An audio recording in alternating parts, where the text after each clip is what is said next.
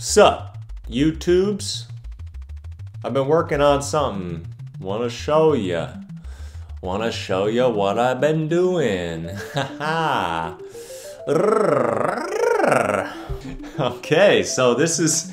I want to do handstands. I've been trying to do handstands and I keep falling doing the handstands, but I got an idea. I'm gonna strap a little fan on my feet and it's gonna blow me to keep me upright, okay? If it's powerful enough, I might fly around. So here we go. So first I'm just gonna model myself as a piece of wood. Why not? So I lay down next to the wood. I'm like, whoa, let me get a good side first. I wanna make sure it looks good here. Now I lay down and what I do is put my hands above my head because that's what position I'll be in when I get a handstand here. I got my mom's out here. She's helping me. We chop into wood. We're having a good time out here. So I cut the bottom. I tried to sand it, but nah. Then I tried to cut it by hand, but nah. Then I use a hacksaw thing or a jigsaw and I'm like, boom. And it's a lot faster. So I'm trying to cut the bottom into a wedge shape. That way it has to balance when it stands upright, right? Then I got a new toy. Got a 3D printer because I sold my old one. And I'm trying to print some propellers on here because I need those fans to blow my feet, right? So I'm printing some fans in flexible filament. Now check this out. This is pretty sick. When it spins up. Go straight to 250. oh no! The centrifugal force, which is a fictitious force by the way, that makes the rubber like pull out to the to the edges and you can see it gets bigger and bigger.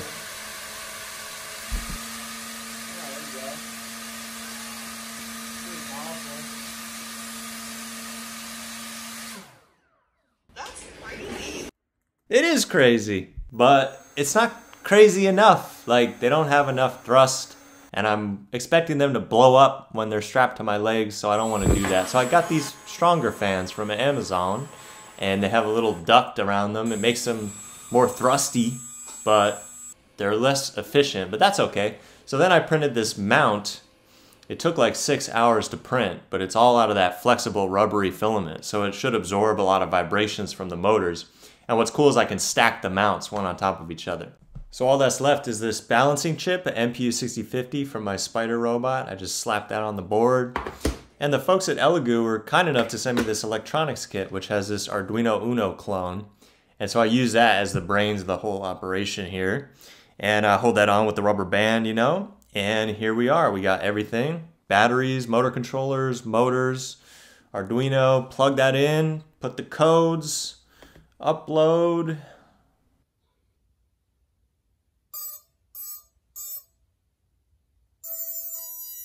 So this is some data coming off of the sensor.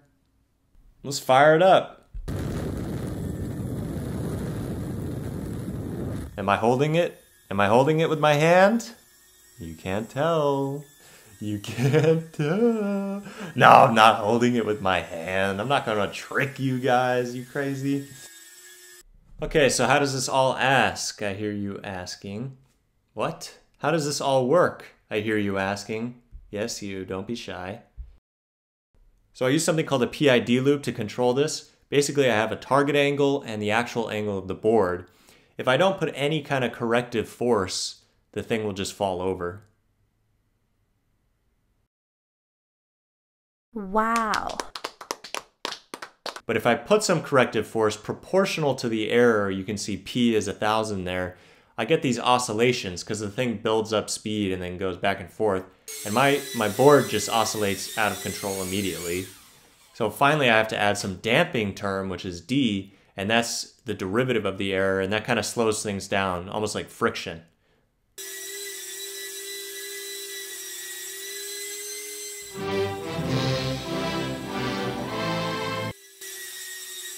So I use the exact same idea. You can see it right here in the code on the board.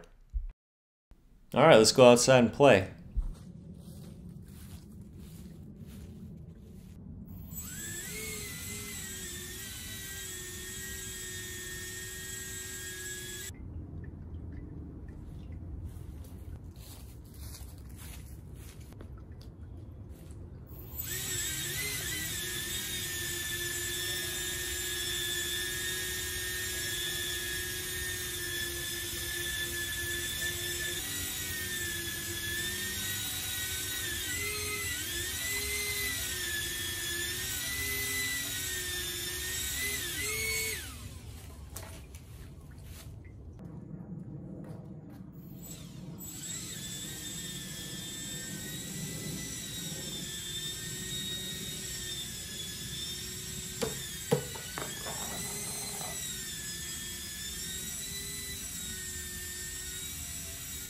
At this moment, my mom saw what I was doing and started questioning my sanity.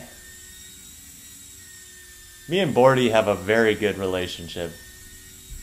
Alright, so if I'm crazy enough to continue this project, in the next video I'm going to do a bunch of math and physics to figure out if it's feasible to actually strap these on my legs and if they'll have enough force to keep me upright.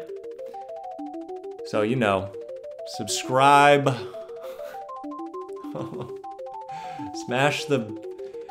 Uh. Hi, Instagram. Alright, thanks for watching.